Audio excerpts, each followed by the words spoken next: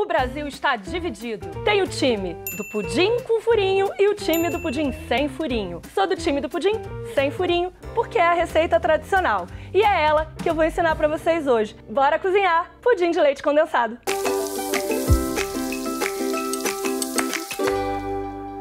Todo mundo já fez um pudinzinho em casa, né? E é sempre delicioso. Mas quando a gente chega naquele restaurante, naquela confeitaria maravilhosa e come pudim, você fala: tem alguma coisa de diferente nesse pudim? São essas pequenas coisinhas, esses pequenos detalhes que eu vou compartilhar no vídeo de hoje com vocês. Para fazer o caramelo perfeito, o mais importante é a panela. O ideal é a gente usar uma panela com fundo triplo. E o açúcar tem que ser o açúcar cristal. E não precisa se preocupar com quantidade, tá? A receita completa tá aqui na descrição. Pessoal, o açúcar derreteu, ele já começou a escurecer, ficar com aquele tom de caramelo. E aí a gente entra com a água. E ela não pode estar gelada de jeito nenhum. Assim que a calda ficar pronta, pessoal, é muito importante a gente transferir direto para a forma que a gente vai assar o pudim. Agora vamos finalmente começar a nossa massa. A gente vai peneirar gemas. A gente não quer clara no nosso pudim. Uma dica importante, nada de usar liquidificador. Começando com o leite condensado, a estrela do show. A gente vai misturar as gemas. E nesse momento você pode bater com vontade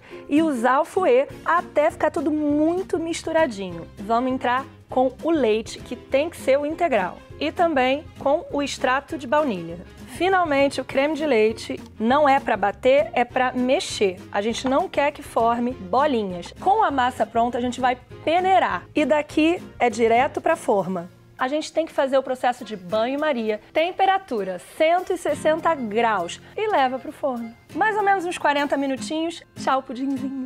Depois que o pudim ficou pronto, eu botei ele para morar durante 6 horas na geladeira. Isso aqui é água quente que eu coloquei para ajudar a desenformar o nosso pudim. E vamos desenformar, rezar para Santa Nossa Senhora do Pudim para que tudo fique maravilhoso. Coisa mais linda esse pudim, né, gente? Olha a cremosidade, como ele é lisinho e sem furinho, do jeito certo. Para você ver toda a receita completinha e, claro, todos os produtos que eu usei hoje no vídeo, é só olhar aqui embaixo na descrição. Você é time com ou sem furinho? Sua casa precisou? Showtime, showtime. Achou!